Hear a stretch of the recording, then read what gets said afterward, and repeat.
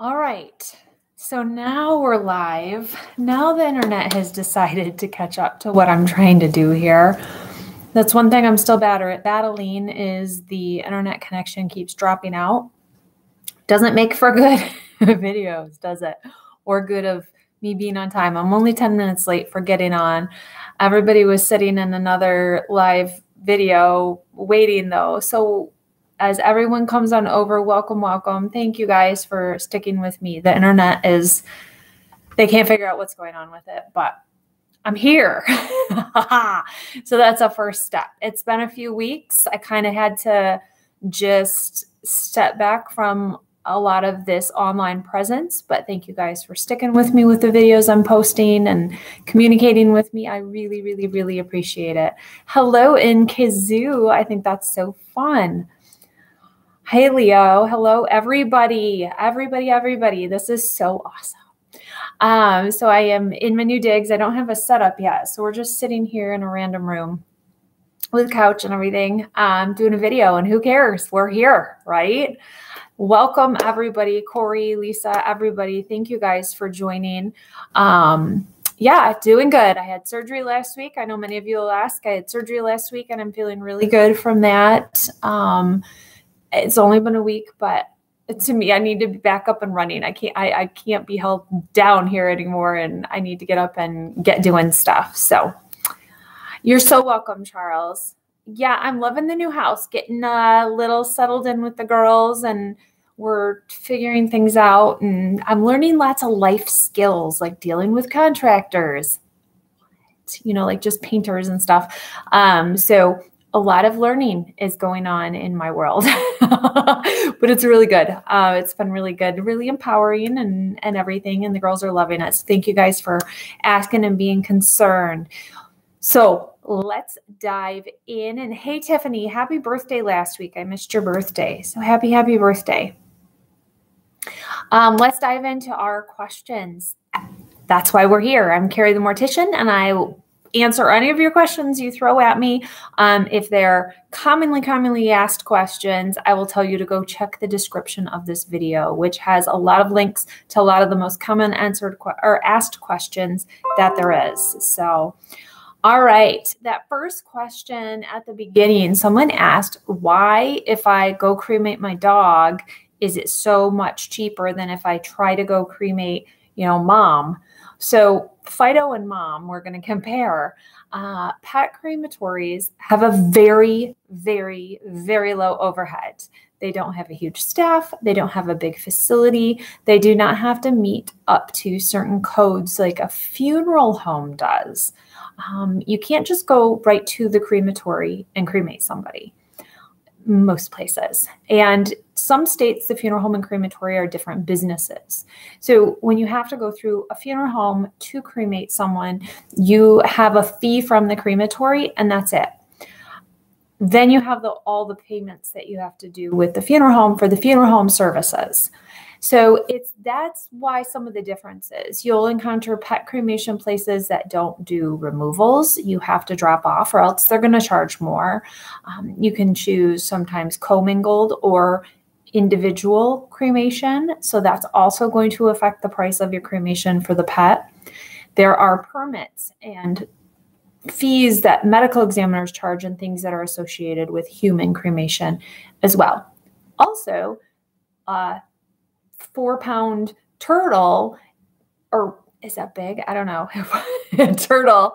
Um, cremating that is going to be a much different price than cremating 250 pound Uncle Gene.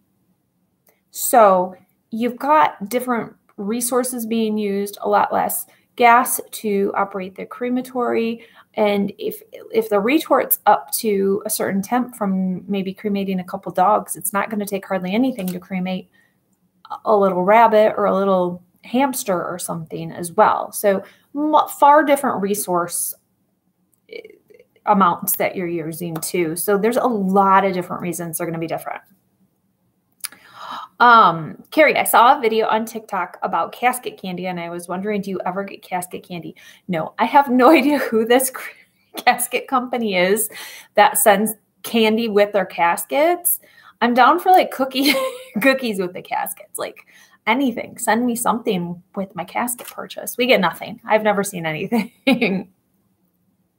Is it against the law to bury your cremated dogs with you when you die? I have three that have been cremated and I want them to be buried with me.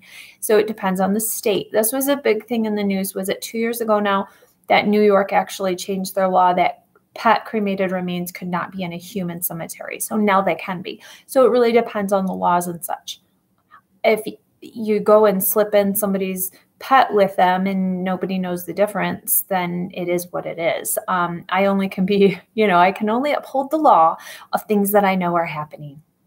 I don't know. My husband was buried in January. What was the white band around his neck? D, I have I have no idea. There's no context to that really, so it's hard for me to say what white band was around his neck. What would you advice would you give a new mom when you go in the funeral service as far as time, family management? I truly feel it's a calling, but I won't want to miss out with my littles. Jessica, I think your first have you gone and like shadowed at a funeral home? Have you spent a day or two with a funeral director so you really see what the whole business is about? Um, if you haven't, you need to. It's something I will tell anybody interested in the business is make sure you understand actually what the job entails.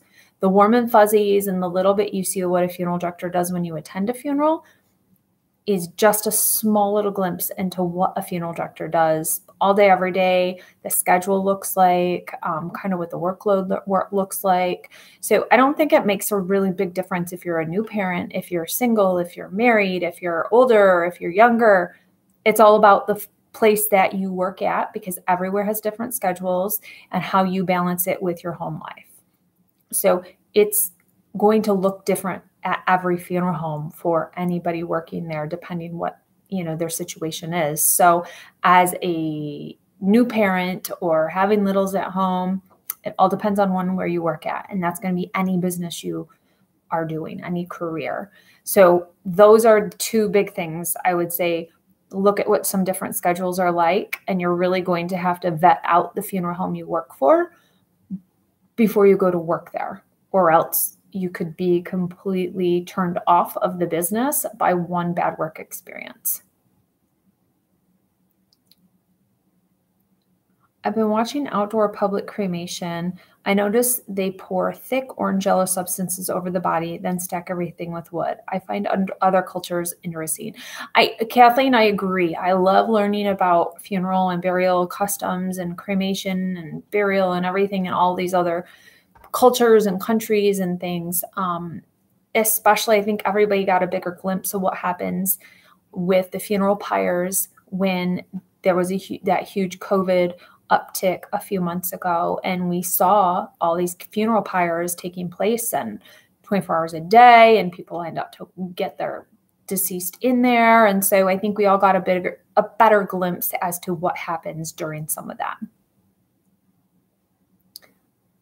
Yay, Kate, you got your certificate, your celebrant certificate. I want to fix up my mom's grave, but I probably need to make a lot of noise for a short time to do it. And I feel like it's disrespectful. Well, it depends what you're wanting to go in the cemetery and do. A lot of them don't allow you to really do much um, to a grave space. You can weed, you can plant maybe a few things around depending on the cemetery rules and regulations, but yeah. How common is my grandma had aggressive cancer, lost almost all her weight, so frail at death. They had us bring a scarf because her neck was fragile. Any experience similar, like fall off fragile? I would say probably so thin that you could see that a lot of times you can see like the tendons and things and are just pressing against the tissue. And when they're laying, it's even more prominent. And that might be what they were say, saying. Um, it would have taken a lot of tissue filler to fill that all in. So possibly. Um, Vera, my mom was buried in 1959. My nephew wants to bring her down to Missouri. Is that even possible for a 60 year grave? Definitely possible. Uh, there's a lot of factors there, though, a lot of things that you're gonna they'll have to you know the funeral homes will have to do some research into in the cemetery to see kind of if there's a vault if there's not a vault. If you pull her up and the vault has been filled with water or something you may have to then pay for a recasketing fee a new casket disposal of the old casket disposal of the vault a new vault on the receiving end. So there could be a lot of really large charges that you're going to encounter if you do this. And that's the big thing is people don't realize the fees and the amount that you're going to possibly pay. It's almost like having a whole new funeral sometimes in order to move somebody from one place to another. Can you have an open casket if someone has covid? Yes. Yes. If an individual's been dead for a while and is just a skeleton, is the family allowed to take the skeleton home for a home funeral? Yes. yes. Just going to keep going. Yes. Um, during this. So perfect. Um, why do some funeral homes place a lace cloth on the lid of the casket? It almost looks as if the decedent, you're looking at the decedent through a curtain. Uh, so I am going to say this is called a funeral veil. So Jody had sent this question to me. So Jody, check out my two minute video on funeral veils. That's that lacy or very thin mesh kind of thing. They will hang up from the top of the casket down over where the person is laying um, to give kind of a uh, filter, almost like on your phone when you turn on portrait mode. It gives a little filter to the viewing. So that way, maybe if the person has some flaws, some damage, things like that, then they are going to not look quite as bad. And it also keeps people from touching the deceased. Kathleen, what's the liquid that's poured on the body? I'm going to guess it's an accelerant of some kind, some kind of an oil or fat lard based something. I feel like I remember reading about something that they use for that accelerant. I'll have to look into it more again.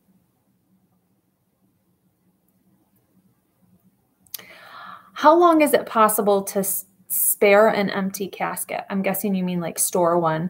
Is there any best before date on them? There's not, but if it's wooden, it's going to get really warped uh, over time and may just crack and fall apart almost on you depending how it's how it's stored.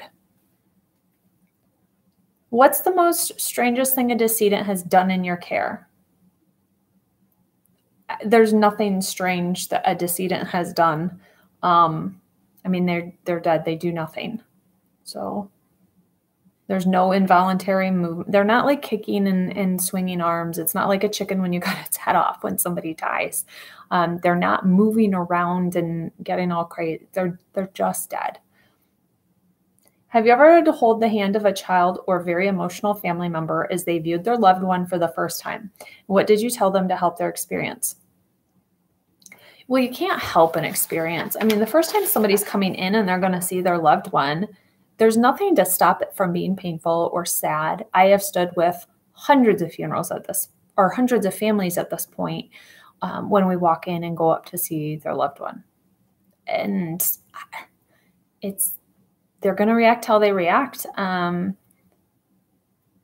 yeah, some I know uh, there's moments I'll kind of talk to them. I'll let the I'll be quiet for a while and then I'll maybe say something. And it just depends on the moment, or I'll talk about their shirt.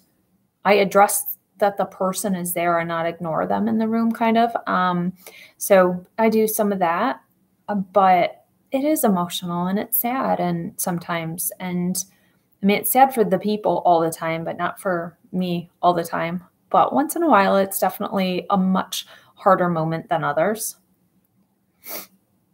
Who embalms bodies from medical schools for anatomy classes? They seem to be embalmed in a more extreme way. Definitely, it's a different process, a different fluid solution to preserve the body in the way that it's preserved for medical school. And it just depends. Sometimes, like in Cincinnati at the mortuary school, they do the injecting of the bodies for a lot of the area medical schools. Um, near me, they have embalmers on staff. So when the body is donated, they're taken there, and then their staff embalmer does the injection for the donations.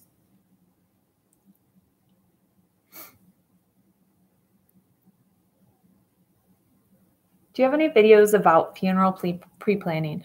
Oh, that's yes. I've done several. I just have posted two in the last this last month. Um, so that I have quite a few.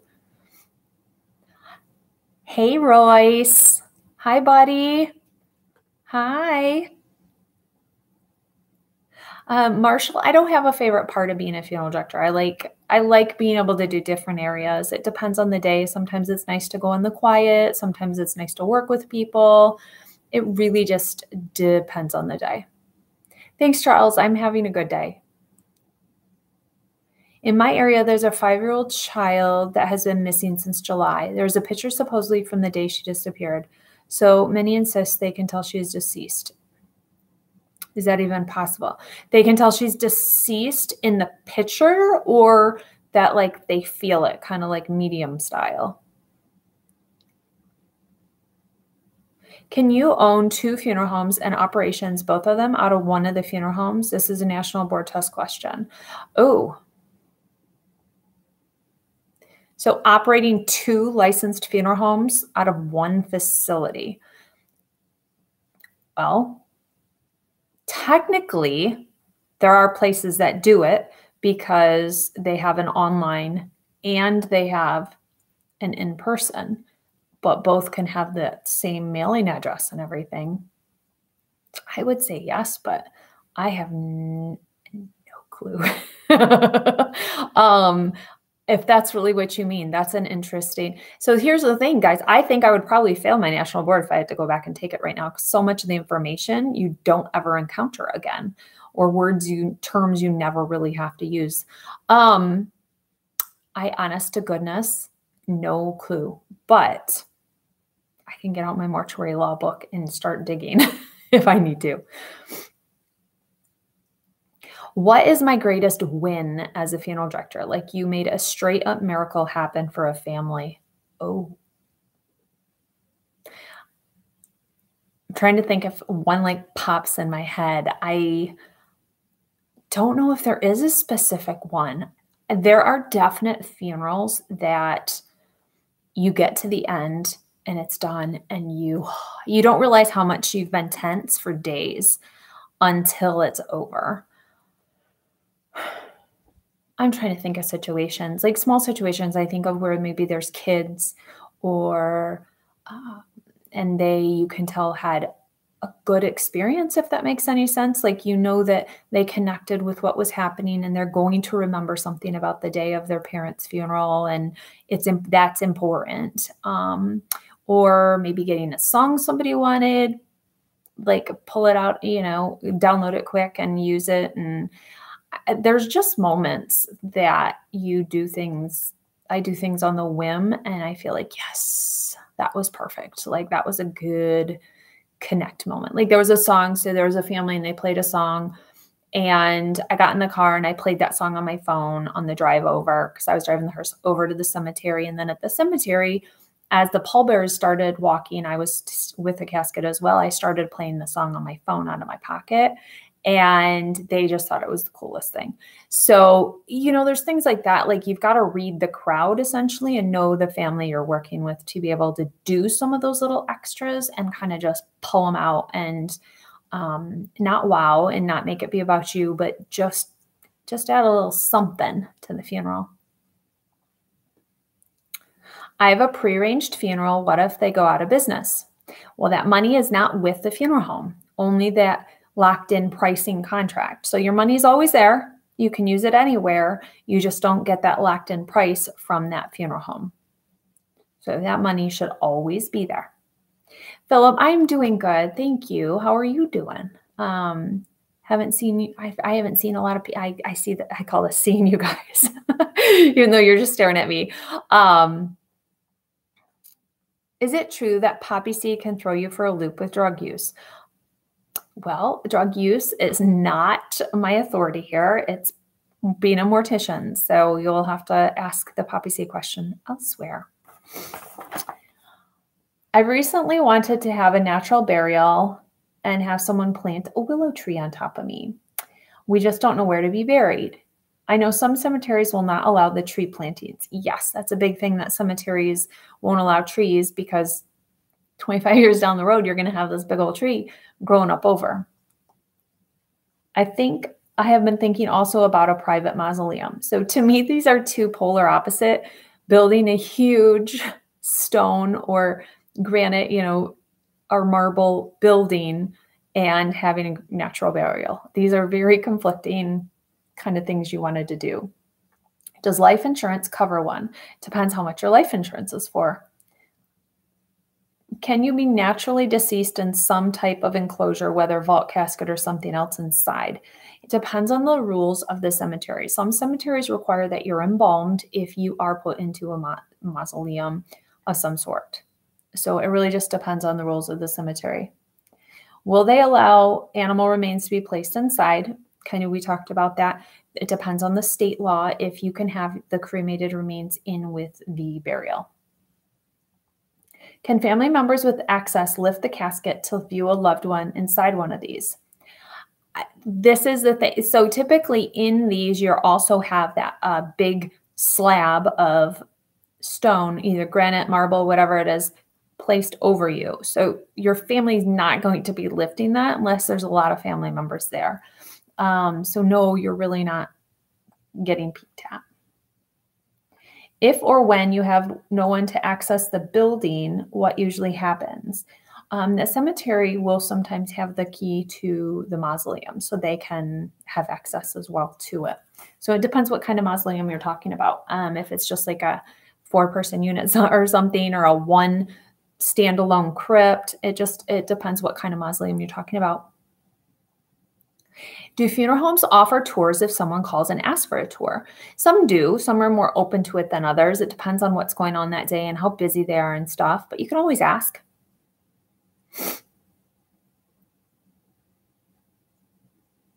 Tiffany, thank you. I think someone earlier also wondered if it was the ghee that the Hindu cremation used. Um, it's a clarifying butter and it's used for anointing the body. Can an individual be cut in half and a part of them cremated and the other buried? Would you feel comfortable doing that? No, I would not. And that would be desecration of a corpse or a deceased. So it's not really allowed. Um, I, I would guess you're you could find probably a funeral home who will have you like sign some waiver and they would maybe do it if you really wanted to. I don't know. I mean, like what would what would the purpose be? I guess, is interesting part. And would you cremate the top half or bottom half? Like, I feel as if there's way more that I would ask about the situation than you would be asking me. Aw. Oh, Steve, you I'm thank you for coming and resubscribing. Joni, yeah, you're with me. Which half would you cremate? Yes, in the pictures they say she looks deceased. Look up Summer Wells on YouTube. Okay. Someone will have to remind me to look up Summer Wells. I have nowhere to write down. I have never practiced in Oklahoma. I've never been to Oklahoma. um, yes, I have never. I'm watching you on YouTube if that is what you are trying. Yes, I'm on YouTube. What are the rules of cremation remains being spread? I have actually a two minute on that, but you cannot spread cremated remains on private property. That includes state land, that includes beaches, waters, parks, forests. You can't just spread cremated remains there by law. You have to have a special permit from the owner of the property or special, you know, allowability to do that. So that is the law. A lot of people break it, um, but that is.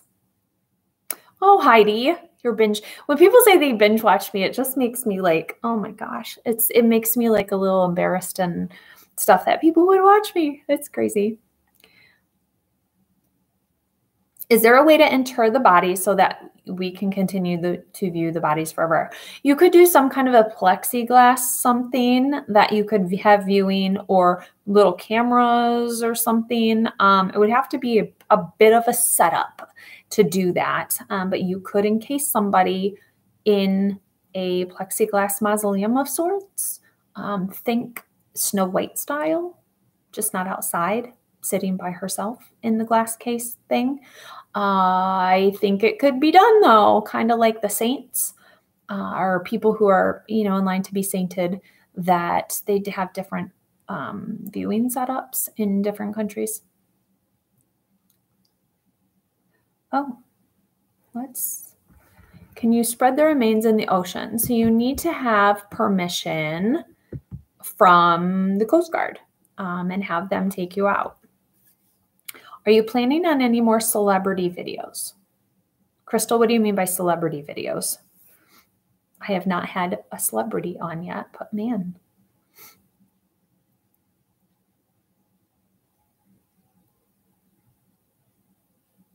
Oh, Stephanie, that's awesome that your coworker knows. This last recently, I posted something on Facebook Marketplace for sale, and someone saw my name and they that lives around somewhere, and they were like, "Oh my gosh, I love your videos." I was like, "What?" I just can't. Uh, floors me. Can a funeral home legally deny the responsible party of a decedent just sent to view the body because of the condition of the body? For example, a motorcycle accident. So you have every right to view your loved one. The funeral home cannot allow it, and you can move that person to a different funeral home. But that's the funeral home's right as well that they can deny you because of mental anguish or some any other thing, they may not feel that just having you sign waivers is enough. So it's kind of up to the funeral home, but you have a right to see that person. You just might have to move them to a different funeral home. So, can the family shave off all the deceased individual's hair or can they only take locks? I have shaved somebody's hair. A mom wanted to keep her daughter's hair, and we cut all of it was off. Um, so it's really up to the family what you know they want to do.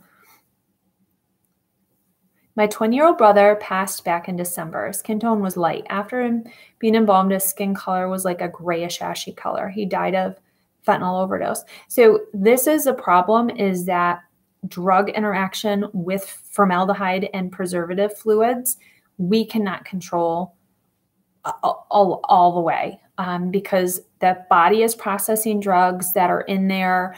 And if they gave, you know, if he went to the hospital and got kind of anti drugs, and then you've got all these drugs in a system, and then we're embalming, it can neutralize the embalming fluid very quickly where they look good, and then bam, a few hours later, it's all neutralized and it basically is is void everything that we tried to do.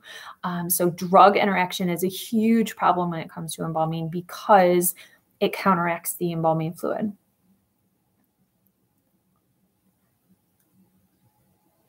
Can someone have such a bad disease that they have to be cremated, and even if they don't want to be cremated? Um, I will have to look. I, I think Ebola, the CDC might that might be one that we are supposed to cremate right away, not bury. Um, a lot of things though, you can do an immediate burial rather than a cremation if they will not allow embalming. So that might be something like Creutzfeldt-Jakob disease is one. Some embalmers and funeral directors will not handle those individuals aside from doing a direct burial or a direct cremation. So that's one of the things. It just depends too on the comfort level of the funeral home. Oh, it is hot and humid here in Michigan as well, Pat. So it is, whoa, it's pretty nasty out. Kathy, thank you so much. Aw. Hey, Jack, um, you asked if I was going to be in Tennessee. I don't know yet. I need to look at the dates now that I'm kind of getting settled into my world here. Um, look at the dates and really see if it's going to work or not work. Um, does my job question my Christian faith or does it strengthen it?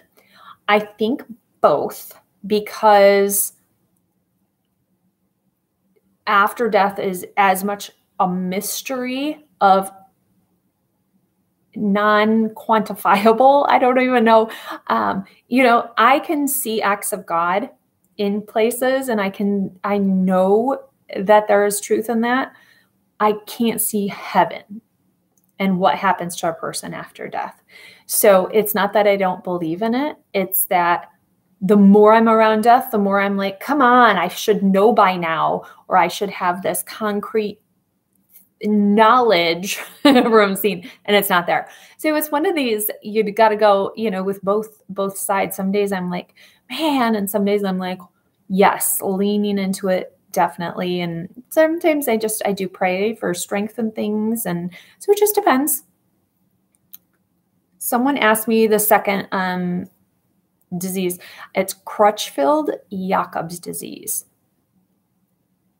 and you, I'm going to go blank on how to spell it. C R E U C H Crutchfield Jakob, and it's Jacob disease. It's basically, I think it's it's mad cow of the human is the easiest way to do it. Where do I find out about green cemeteries in Michigan? Go to the Green Burial Association Coalition online, um, and that will list them all out for me. Do I believe in ghosts? So I don't believe in ghosts, but I believe in paranormal experiences, which is an unexplainable event happening because I've had them. So I'm not going to tell you there's ghosts there or there's this or that. I'm going to tell you things happen I cannot explain. Hello in Charlotte. Are you going to the Charlotte Oddities thing? Is that next weekend? Are you going to that? I thought about driving over for it. Do you ever feel your mom around you?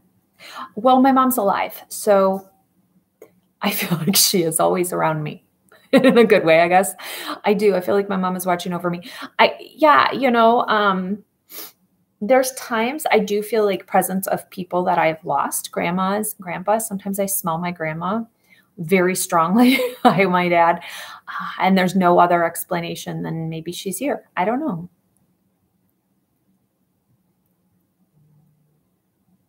Oh, Danielle. Yeah, Lamont at large. When I went to view a family member in the hospital mortuary, her mouth was open. I could see her tongue was removed. Is that normal during an autopsy? Yes, the tongue is um, a good amount of time removed during an autopsy. Tiffany, thank you. Yeah, that's the, there it is. Am I more of an introvert or extrovert? I think it just depends. I if I'm not feeling like going and being social, you would never know it because I will be very much an extroverted person and settle into a situation. Um, but it feels forced sometimes more than others because if I'm not feeling it, I'll still do the kind of go through the motions, but it just depends. You can tell when I'm more comfortable or you know, whatnot. But it takes a lot of energy to be an extrovert, I feel like too. So some days I'm good with just like chilling and doing my thing and and not interacting with a lot of people. So that's why I think that the balance between being a funeral director is good because some days I'm encountering lots of people, some days I'm not encountering hardly anybody. And so I think it's a good flow. Our funeral home's haunted.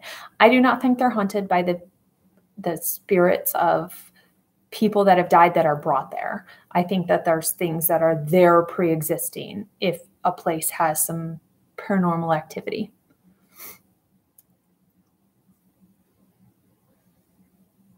Pat, it's um, why is the tongue removed? What are they looking for there? It's just as part of when they open up the neck and they go up into the neck and kind of look. Sometimes they just remove it as an organ. Because they remove all the organs. So let me do a couple more questions from this one. Why? Uh, I believe you've been asked to support, but if you could have a career change, what would it be? Or do you think you'll always remain in the funeral business? Um, she had also asked, would you still do this work if I won the lotto? Um, I think uh, that I would do something still in little i would do something investigative probably mm-hmm. i like mysteries and investigating. I don't know. I mean if money was not a thing where i could just kind of go do whatever i wanted to do I, and she also asked did it would i do something philanthropic and start like a you know a project a philanthropic project? And i don't know what it would be but I would definitely like to do more of those kind of things.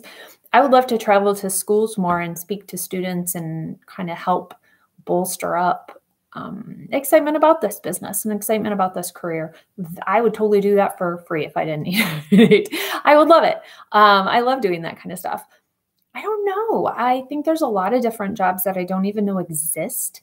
That would be super fun. Like people who have to be testers for different products. Like what kind of fun products would there would there be to test, you know? And um, undercover shopper, I think would always be a fun one. Like, hey, go try out this nail salon, or hey, go buy a soda from this gas station and then report back to us on everything. That would be fun, wouldn't it? Uh, that was like a big thing a few years ago. I remember that you could go make extra money being a secret shopper. Secret shopper. Um, what else would I want to do? I would not want to tend garden. I hate flowers and gardens. I'm just looking outside right now and I'm trying to think what I would want to do. I don't even know. I don't even know. Uh, I would love to go like dig up old bones somewhere and and do you know forensic anthropology type work and archaeology kind of stuff. That would be super fascinating too.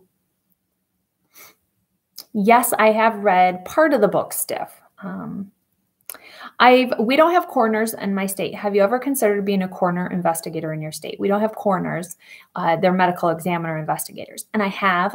But the county I would do is the largest county in Michigan, and it's ridiculous um, because you can't even get from one side of the county to the other in like an hour eh, so it's it's you could be bouncing from one side to the other to the other to the other and it would take forever for your day to even have you know so uh, some of that i think is is why i probably wouldn't want to do it i would enjoy i think the interaction with families and um, you know some of the scenarios i could maybe see and encounter or would just be interesting but the other logistics of it would be yuck. Yeah, DMORT I think would be fun. They don't get deployed a ton, and it is hard to become a part of DMORT. If you don't know what that is, I have a two minute on DMORT, and that's the disaster response team that would come from the mortuary side when you have a big disastrous event. I am going to be a professor at a mortuary school. So I'm going to be teaching a class for um, Pittsburgh here coming up and hopefully getting to do a little more of that. Can a loved one be buried in the same casket as a loved one who got exhumed and is a skeleton? Um, if you can reuse the casket. More than likely, you're not going to want to stick a fresh person in the moldy, mildewy interior, but may that's up to you, I guess. And it would be really smelly. What's the funniest memory you have when I'm being a mortuary student and apprentice?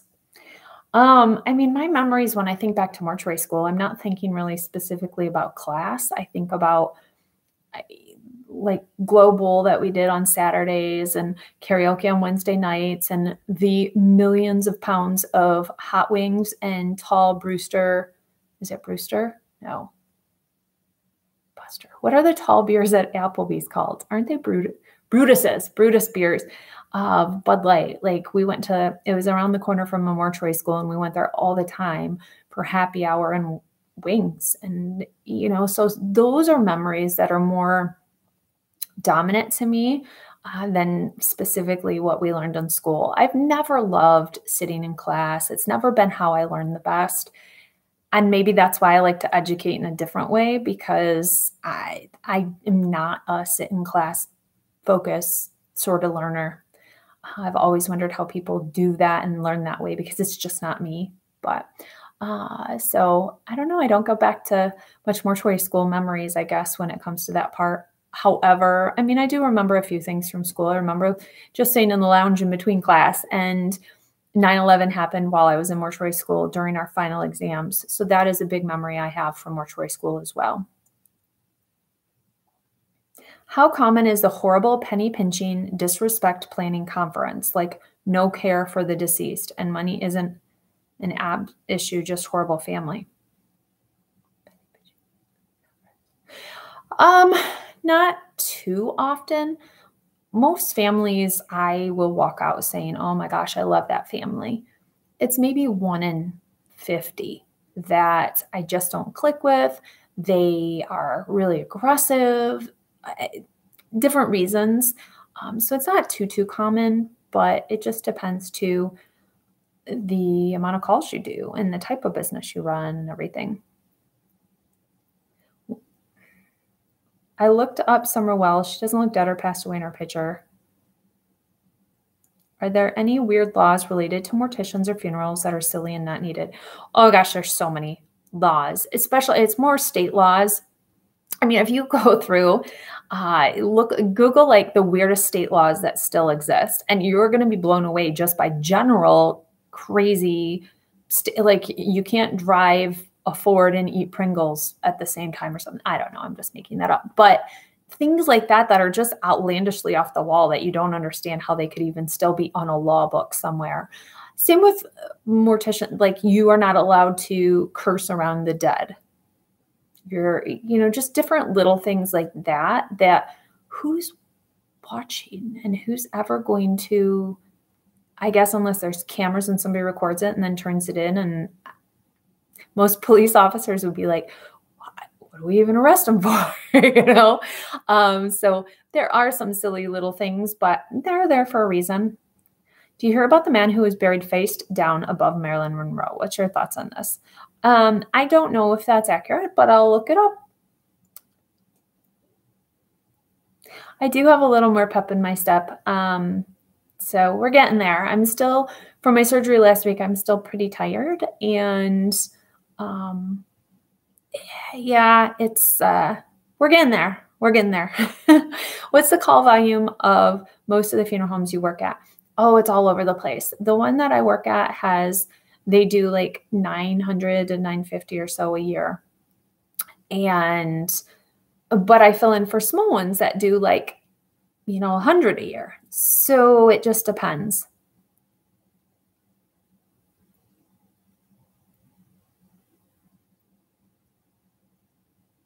Yeah, you guys will have to, like Tiffany looked up, you can't ride a horse faster than 30 miles per hour in Denver, Colorado.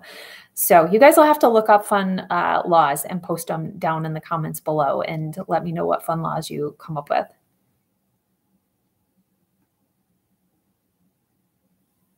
You legally can't curse around the dead. Which curse words are the ones that are illegal? Is there a list? I know, right? Like, what is considered a curse word? Can I say heck? Can I? I, I don't know. It's it's so weird. I'm funeral apprentice and going to school as well. I never forget it. This experience. Our death calls a year is 800, 900. Yeah, that's a great exposure.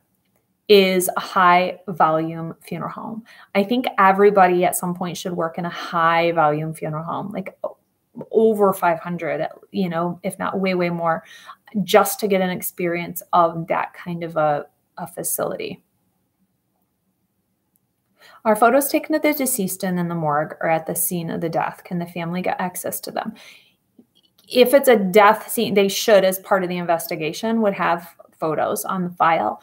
You would have to ask the medical examiner and see if they would allow those photos to be released or not. Jack, in New or in Kentucky, you can't put ice cream in your pocket to steal a horse on Sunday after 5 p.m. So, like, how, who came up with that? Like, who did something naughty with ice cream in their pocket, stealing a horse on Sunday after five, but it's okay before five? like, who does this? Are death certificates signed and filed online if the state has an online program? So, um, I have to show you guys. I got, do you see my new koozie? I made a whole bunch of these and I'm selling them in my student group right now. Um, I'll probably add them to my online store. I love them. I just think they're super fun. Super, super fun. When viewing a de decomposed body, what do you tell the family before they see their loved one? Um, it would depend what the situation was, I guess. If I'm telling them you're going to notice an odor or there's a lot of cosmetics, try not to touch them. Or it would depend on the situation what I would need to tell them.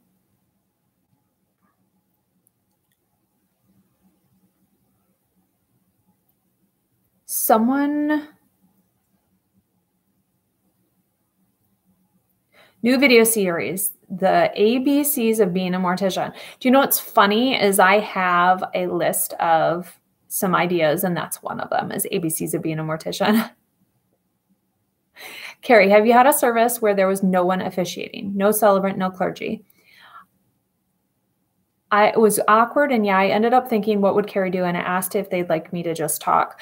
I've been to I mean, I've officiated quite a few services. There are some times where there's a miscommunication and maybe someone thinks that they're going to speak for like 2 minutes, but the funeral director gets the impression that that person's going to lead the whole service. So you almost need like an MC to welcome everybody, invite somebody up, introduce a song. And so you might have to step in to be that kind of spokesperson for the event, so to speak, to let everybody know what's going on.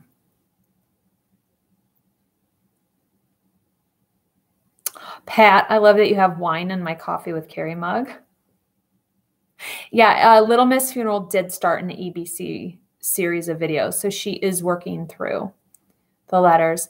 I am not a chaplain. No, I do have my online ordination in order to marry somebody, so I can marry people. Um, but what, it's called a celebrant if you are non-denominational, speaking funerals and such. Are you ever going to do a video with Caitlin again? Um, probably at some point. So I'd be open to it. I really enjoyed the videos we did, and we email um, once in a while. And yeah. Strangest song played at a funeral you did. So just because this song played the other day, and I actually told the person I was with when it came out, I was like, hey, I've played that at a kid's funeral. So it was Enter Sandman at a child's funeral. He was like two ish years old, I believe, if I'm thinking of the right funeral. I'm trying to remember if it was the other.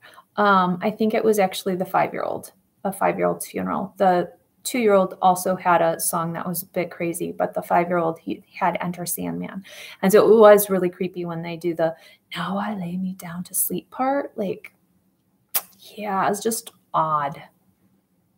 Tibetan sky burial, yes, the Tibetan sky burial would be fascinating to witness. That's where the body is battered up and beat up and the tissues left to get a little funky and then they drag the what's left up into the mountains and the vultures eat it a whole huge like thing to it and ritual and routine and it's really fascinating but it's just this one community that does it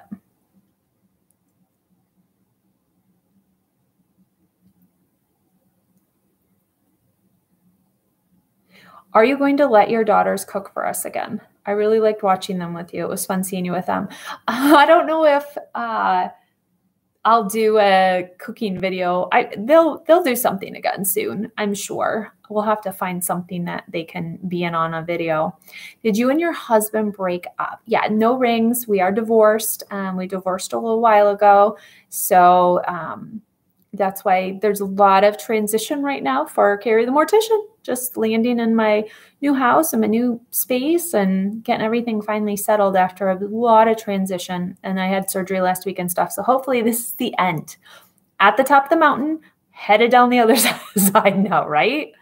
Uh, so very cool. I'm going to wind down because we're approaching like 50 minutes. Woo! So I figured this one would be a little longer just because it's my first time back in a little while with you guys. So thank you so much for coming for support. If you're not subscribed, click subscribe. Guys, we're almost to 90,000 subscribers. So it's like the final into the final 10,000 to get to that 100,000. I had a friend challenge me and say they wanted to see that dang Google Play button, and I was their only hope for them to see one. So we said, you know what? Let's just keep doing what we do. Um, do what I do organically and keep building, and we'll get there one day, hopefully. Um, but help do your part. Click the subscribe button, share videos. If you find them to be of importance, somebody else will too. This is good knowledge to share. It's not just people being interested in death and things, there's a lot of good videos for veterans and people pre planning and, you know, just obviously curiosity about all these other things too. So share a video and pass on the word. And thank you guys for joining, and I will see you soon. Bye.